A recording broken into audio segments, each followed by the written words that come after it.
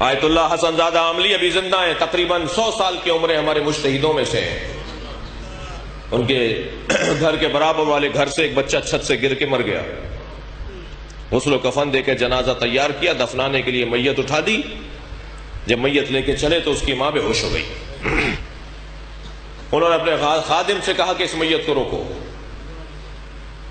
بزرگ عالم میں اصا کا سہارا لے کے اپنے خادم کا سہارا لے کے آئے۔ بچے کے سر پہ ہاتھ رکھ کے کہا، بسم اللہ الرحمن الرحیم۔ بچہ اٹھ کے بیٹھ گیا۔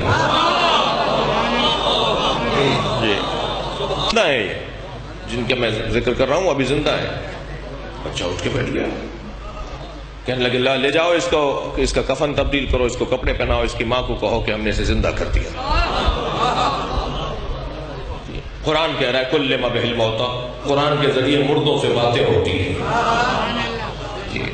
وہ کون وہ کھاری ہے قرآن کہاں ہے جو مردوں سے باتیں کرتا ہے؟ وہ کیسے ہوگا؟ لے گئے بچے کو، استاد نے ایک مہینے کی چھٹی کر دی۔ درس نہیں دے رہے، مدرسہ اپنا نہیں پڑھا رہے۔ ایک مہینے تک چھٹی۔ پھر ایک مرتبہ اعلامیہ لگا کہ فلاں تاریخ سے استاد پڑھائیں گے۔ آیت اللہ جوادی، حسن زادہ عملی۔ تو ہمارے استاد جو ان کے شاگرد ہیں یعنی میں استادی شاگرد میں ان کا پوتا ہوں۔ ہمارے استاد جو ان کے شاگرد وہ فرماتے ہیں، جب ہم ایک مہینے کے بعد ان کی کلاس میں گئے، تو انہوں نے کہا، مجھے معلوم ہے، تم مجھ سے ایک سوال ضرور کرو گے کہ میں نے یہ کیا کیا، مردے کو زندہ کیسے کر دیا، بچے کو میں نے زندہ کیسے کر دیا۔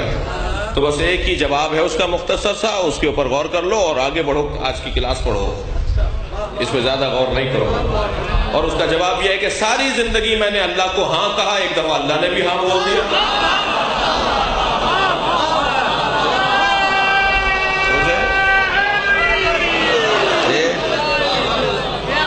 اگر انسان تقوی کی منزلوں کو طے کرے تو اللہ ولی بنا دیتا ہے۔